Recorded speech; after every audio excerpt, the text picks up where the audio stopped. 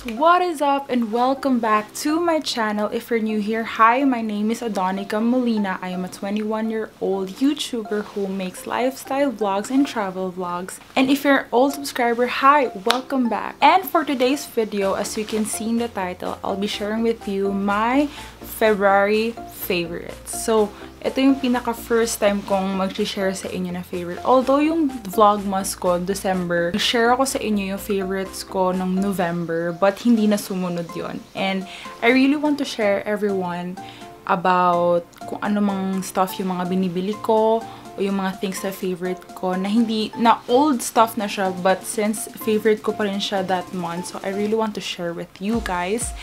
And I know lots of YouTubers really upload this like first week pa lang or first day pa lang ng month na susunod. But for me, okay lang kasi nasabi ko gusto ko i-share sa inyo lahat ng mga bagay na meron ako in the month of February. So without further ado, let's just start the video. So my first items in my February favorites is this Maybelline Superstay Matte Lipstick. I really really love this kasi meron akong una, last year ko pa siya na-purchase because it really stays on your lips. So I got the three shades. One is the Pioneer. Yan, the red one. And one is Seductress.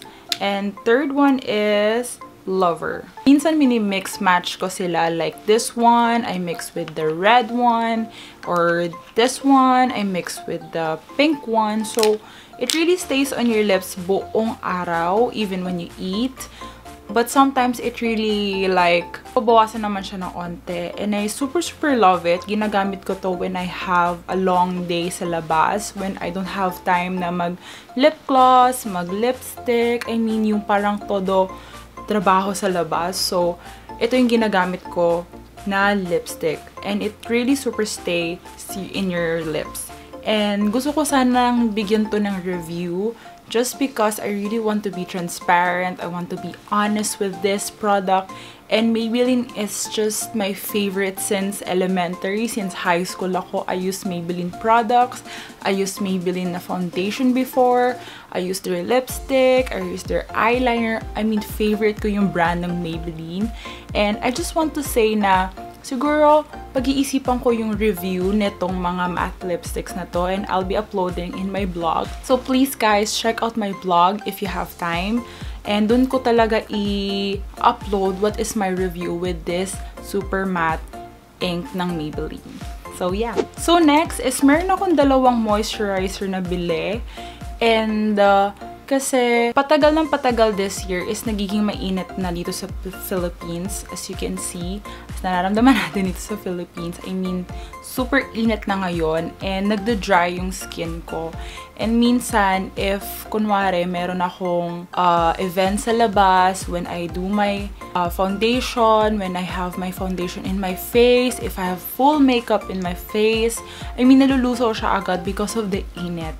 And I really like to have a moisturizer na parang pwede ko siyang on the go dalhin. So I have two. I have this Lux Organics that I got from Watson and Evian Ayan, Evian. Face and body spray. And it's so good. Ito muna Evian yung i-review ko. I mean, it's so good kasi itong Evian, pang sensitive skin na siya because it has a baby for baby yan. Kasi 'di ba merong merong product sila na Evian na parang hindi siya pang baby. This is for the sensitive skin. And I believe na yung skin ko talaga is very, very sensitive. So, ito talaga yung kinuha ko. But, hindi ko to dinadala every single day kasi it's a big bottle. Wala silang maliit. Although they have maliit, but this one, I really want to try this from baby.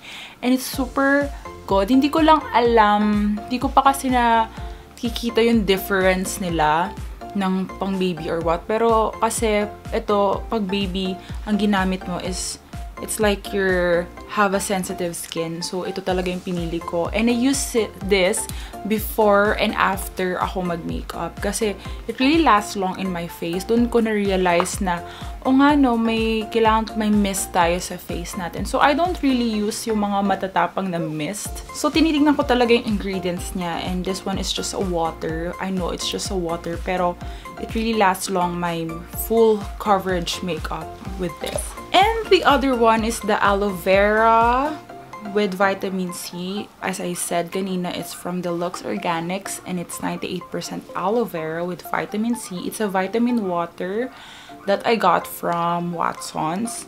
And trinay ko lang siya kasi I have this galing Natural Republic. And we all know that Natural Republic is kinda expensive. But I have a moisturizer na hindi spray from Natural Republic. But, nakita ko kasi to, like, so, trinay ko to, and I think, as you can see, February, as in, everyday ko talaga siya ginagamit just because nakaka-refresh siya ng face. Although, I don't use makeup every day. Tapos, pagka kunwari lalabas ako and after ko tanggalin yung mga oils sa skin ko, I mean, sinispray ko to sa mukha ko and it really refreshes your face buong araw.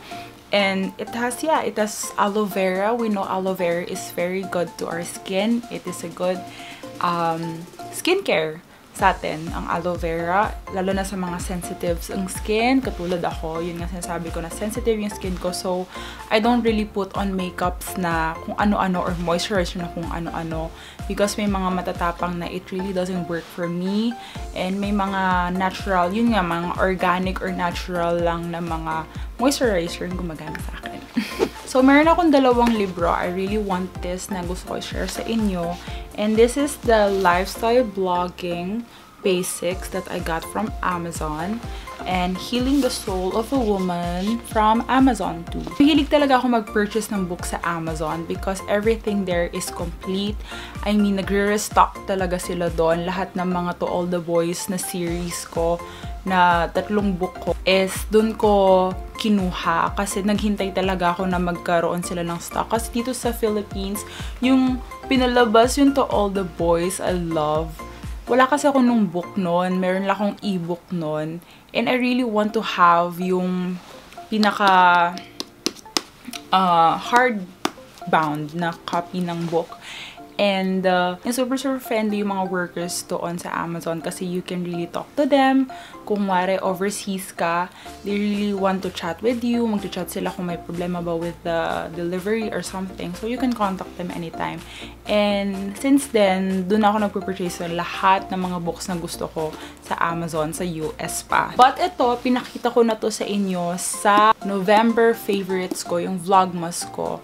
Pero nag-stop kasi ako gawa ng I have school and it's really hard for me to read book tapos may school pa ako. Kasi if I want to read a book, gusto ko talaga, iti-take time ko talaga siya and I really want to understand word per word, sentence by sentence. Gusto talaga ma-understand, lalo na yung mga pang-life na mga books, yung it really can help you.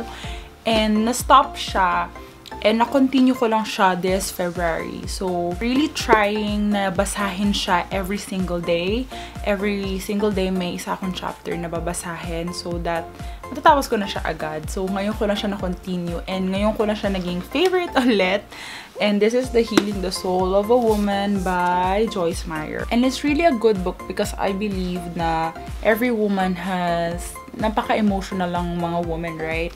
And really helps you na if you're wounded, lalo na sa soul natin, kasi yun, yung emotion, soul, yung emotions natin, ba? We have our wounds. And it, this book really helped me, lalo na yung mga stage na um, I have emotional wounds, not just in a relationship, but also in life, in everything, in my uh, in my school. And I believe ito din nakatulong sa akin yung book na din to. Lalo na sa emotional wounds ko. Like, nahirapan ako sa school or hindi lang siya basta relationship. But sa mga school ko din, sa life ko din, it really helped me nung binasa ko to. Because I believe na every woman is very emotional. Na talagang hindi natin, as in binubuhos talaga lahat ng mga uh, nararamdaman natin sa puso ko. And this book really helped me then. Although God talaga nag-help sa akin sa emotional wounds ko, but this book also reminded me how you are loved, you are special. I mean, kahit anong wounds pa, um, basta everything in this book. If you want to purchase it, the links are down below. So, yeah. And another thing is that this one na uh, kaka-purchase ko lang in the month of February but I really love um, basahin tong book from Laura Lynn. I believe she is a famous blogger.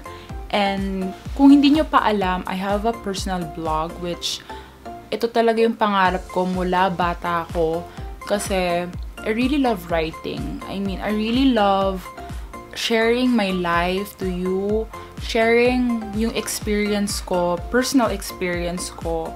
And natandaan ko noon yung nag nag-aral ako sa Brazil. Yun talaga naka-help sa akin yung pagsusulat ko about my feelings kasi I really write diary until now.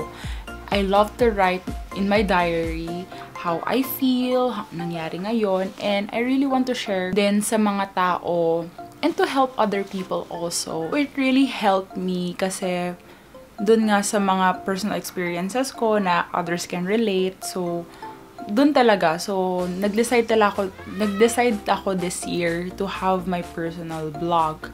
And, uh, yun, itong book na to, it is the lifestyle of blogging basics. As you can see, ayan siya.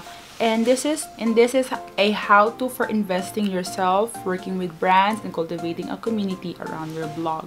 Since bago lang ako sa blogging world, I really want to have knowledge about it na hindi lang ako basta nagpo-post. Like, I really have to do pala working with brands. I mean, I have to like put it out sa social media ko. Hindi siya magiging known if hindi ko siya inano sa social media something like that. So it really helped me. Nagbigay sa akin ng knowledge about it, about blogging it. I must say na ngayon wino-workout ko siya since I will be graduating this year and I really want to work it out, my personal blog. I really want to share with you, not just for myself, but for all of you guys out there who's reading it, na you want to know about me and I want to know about you. So, dun ko sa personal blog talaga ipopost lahat-lahat. And uh, maybe some of my videos, hindi ko siya mapopost sa YouTube, but mapopost ko siya sa personal blog. So, go guys, check out my blog. Links are down below. The next one I have, I have two bags na favorite ko from the month of February. And the first bag is this black and red bag. And kung hindi nyo ako kilala, favorite ko talaga ang red at black. As you can see in the background, my bed is red and black and white kasi yun talaga yung favorite color ko. And nagustuhan ko siya kasi this is just an everyday bag for me. Yun nga lang, madami kasi akong gamit laging dinadala. So, pagka malapit lang na lugar, ito talaga yung ginagamit ko. And it is a sling bag. Yan. Ito lang siya. And uh, if you open it, mayroon siyang dalawang uh, zipper na pwede mong lagay yung things mo dyan. And meron din siyang zipper sa labas. Ayan. Ayan. Ayan lang. And I bought this sa Landmark. I really forgot yung price niya. But if you guys want to check this out, go to Landmark sa Festival Mall. Madami doong mga bags na super ganda. Madami din clothes na super ganda. At ito, dun ko lang din to nakita sa Landmark. So, wala siya talagang uh, brand name. It's just from Landmark. And last and final thing na I've got from the month of February is this bag from Decathlon. And masasabi ko na everyday ko tong ginagamit na backpack kasi naghahanap ako ng small bag na hindi masyadong stylish, hindi masyadong girlish, hindi din masyadong boyish. And this is the right, right bag. This is the perfect bag for everyday talaga. And dito ko lang din sa Decathlon, sa Festival Mall, kasi bago lang bukas this year.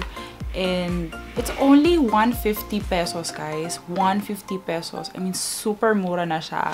And it has two compartments where you can have your things here. Sorry, may gamit kasi to kasi kakagamit ko lang nito. But it, has a two compartments and maluwag siya. And if you carry something big, hindi siya heavy dalhin.